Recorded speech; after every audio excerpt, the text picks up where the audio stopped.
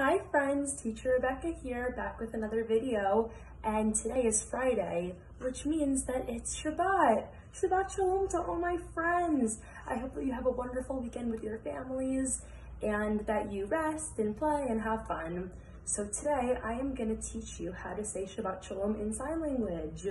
So if you meet someone who uses sign language, you will be able to say Shabbat Shalom to them. So this is how we do it put our hands up together like this, and then switch your hands to the other side like this, and then put it down to your sides. Make sure you put down your sides. So once again, this, then switch it around and put it back down to your sides. One more time. This, this, and this. So, Shabbat Shalom. Thank you for learning how to say in sign language with me. Have a good weekend.